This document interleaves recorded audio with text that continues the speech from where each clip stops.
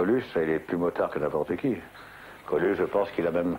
Moi, j'ai toujours euh, conduit des motos, mais disons que je n'ai pas fait les choses qu'il a faites, lui. On s'imagine pas comme ça parce que c'était un petit bonhomme un peu rondouillard, donc on l'imagine pas sur une moto. Mais c'est vrai que c'était un vrai motard, dans le fond de l'âme. Ce qui est c'est qu'il avait toujours un petit... euh, enregistreur sur lui, tout petit, de poste, comme pour mémoire.